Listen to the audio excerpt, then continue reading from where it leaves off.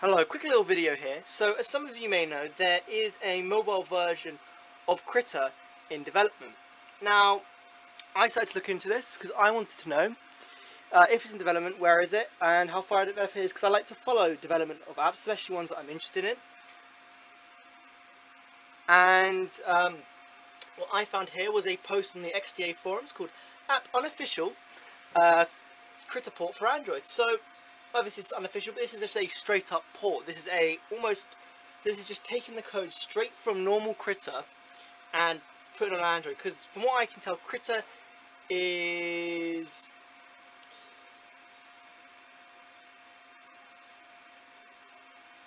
this is it's just like C++ or C Sharp, one of the two, and that runs on Android. So they just did like a straight up port like that.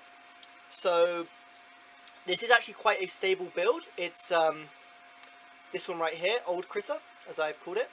So this is unofficial. I believe this is before any. This was like made. What was this again? This was made uh, around December. So this, I think, this was before most, if not any, builds of Krita were available to the public, at least official ones. So well, I have Krita loaded up here on this one, and it is. Please, if you zoom in go over here like this, you can see there's Krita. So I'm doing this on a note phone because many of the people that use Android and care about this kind of stuff will have a note phone. Tabs are not nearly as popular as Samsung Galaxy Note phones. So what I'm using here. So because I don't want to load up any of my artwork, I'm just because it would take a while, I'm going to load up a, a basic canvas here. And as you can see,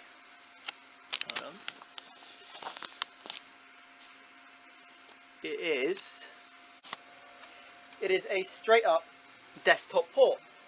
Like everything works same. In fact so if I do this yeah we can see pressure does work. Tilt does not work. These pens have tilt though I don't have a brush which which can do tilt.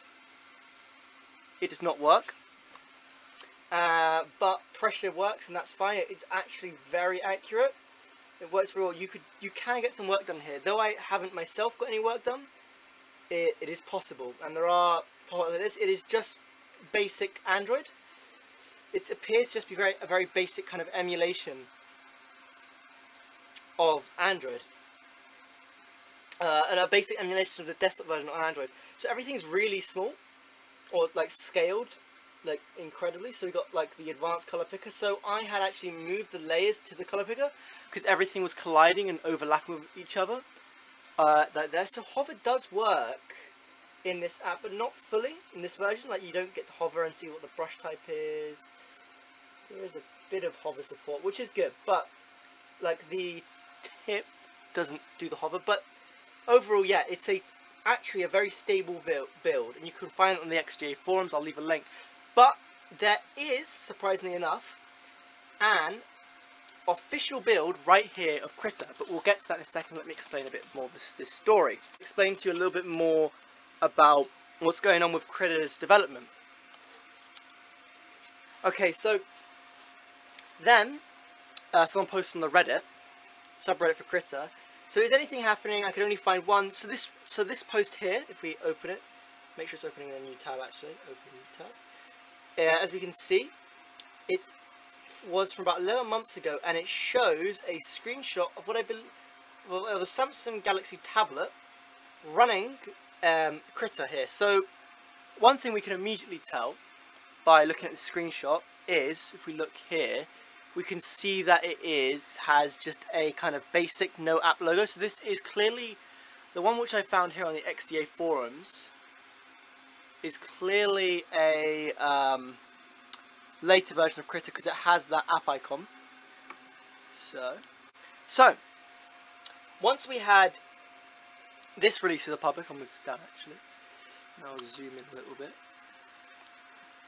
So, so now we had this, and then a developer came down here and he said, we are planning to release uh, version 2.9, Google Play Store.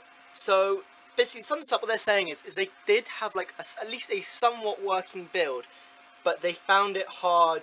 They, they had some trouble putting it on the uh, Play Store. Like there was an issue with signing and uh, releasing. What you can do is you can see,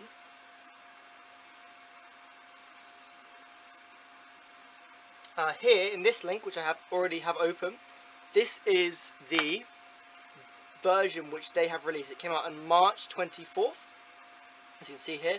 And this, these are the most current versions, as far as I can tell, of the software. Scrolling down, I do not see... So there are a bit newer versions on the 29th, which is one which is built for Chrome OS, this build here, if you want to use it for Chrome OS. But, yeah, that is one of the most recent builds, came out on March 24th, and it's this one right here, which I'm uh, opening on the phone, and I think I'll put it right there. So this build, you can kind of tell, it's it's a bit slow, but there are also are things on this build which are working better than the one I showed you last time. For example, that didn't scale properly. So another thing you'll notice immediately is that it says dev build right there. I'll zoom in so you can, no, that's as far as it zooms. It says dev build. And that's very interesting, as I said, because, well, this shows that it's somewhat efficient at the very least. So working around here, I actually do have something we will open on this one. So I took this directly off my computer. Now what's weird is, is it says it can't save something. It's failed to save. But as we can see here, it did save because I tried to save these things from this one here. And it said it wouldn't do it, but it does. So this is a save file. for this, no, it doesn't work. But this one here, if we give it a minute, I think I tapped it one too many times, it does open. Now I actually do have the same file on my Surface Book here. So we will put this over here for now to load and we'll zoom out. So as we can see, just for comparison's sake, here's the desktop version of Krita. Now bear in mind, if we look at this from a purely Windows perspective, ah here we are.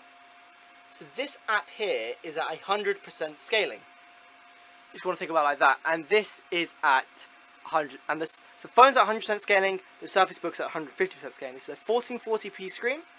This is a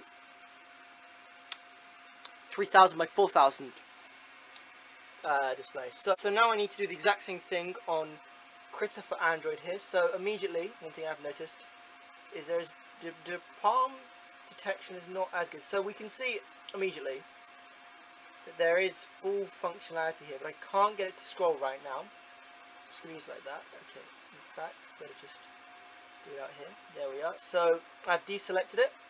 Let's go back into the brushes. So one immediate difference is that there is more working space.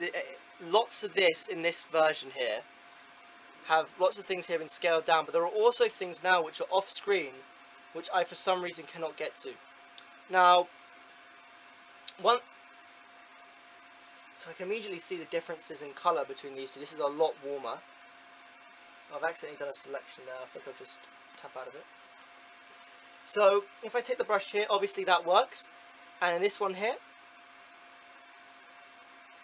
I'm not getting the same result, but I cannot see uh, down at the bottom down here, which is weird.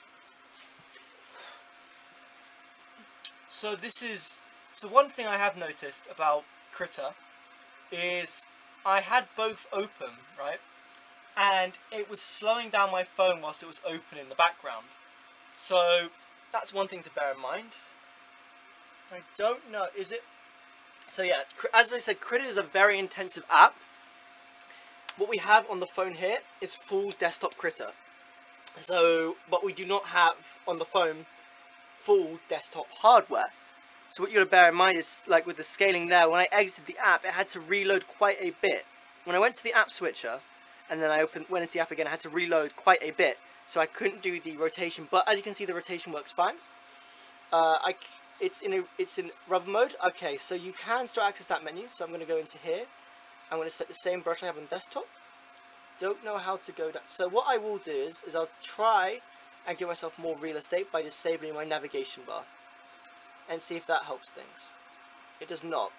So I, I feel, I feel, I don't know, I don't know, but I feel like this version is actually less complete than the last one.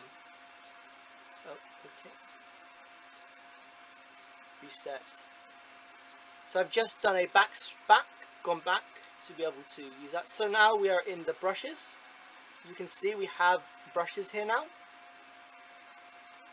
I cannot seem to get to my layers anymore. But we do have brushes, and that's what's important. So we have the second button here on the S Pen, right? So what does this do? Absolutely nothing, but I'll tell you, yeah, it does literally nothing in this app. This app has no compatibility with it, but every time something loads up, it has to reload. It's very, very slow because it is it is dealing with a phone right now, meaning that it has to abide by the same rules when this is really a desktop app and is not used to abiding by the rules of mobile, meaning like it loses resources quite quickly, but it can also gain them back almost immediately. So, as I said, yep, see, nothing. If I just tap, nothing again. But pressure does work. Tilt does not work. I've tested it already. Doesn't work. But there is actually enough here to get a bit of work done. So right now, my layers panel is covered, but I think I might just, if I really try, ah, here we are.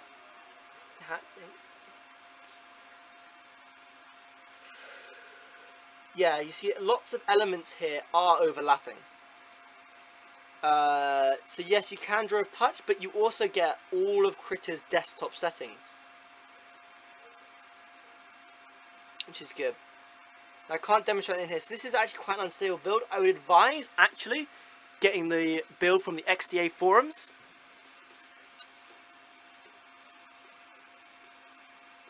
Um, this build here, it seems to just be generally more stable than the one that the Krita team has made. Uh, but, if you just want this version of the app here, on the Play Store, and you're not okay with installing APKs, judging by the how far they're through now, if they can get past the troubles they're having with the Play Store right now, this will be out relatively soon. Like, it, it seems... It doesn't seem super stable to me. What you got to bear in mind is this is a very complicated image. Like, there's... It's, a, it's like a 4K image right now running on my phone. Like, I already get a bit of performance issues here. Like, not nearly as much as the phone, because this is a i5, right? But it's a full image. So just bear that in mind here. You've got to cut this a bit of slack. So, uh, yeah. I think that's all there really is to say here. I mean, it should be out sooner or later, but I they say they want to optimize it for touch. But judging by this build here, unless this is like the first build, uh, they haven't really done a lot to optimize it for touch. I'm excited to see what they do do in the future though. Uh, yeah, this is what I've got.